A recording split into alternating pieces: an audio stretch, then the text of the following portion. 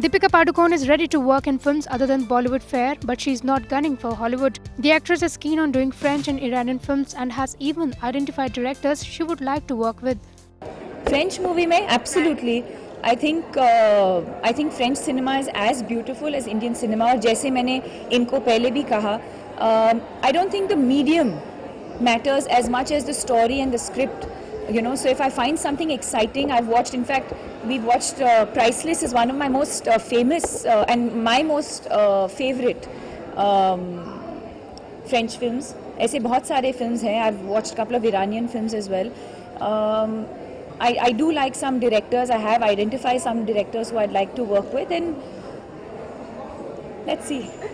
Deepika is currently busy promoting her mega commercial venture Happy New Year that hits theatres October 24.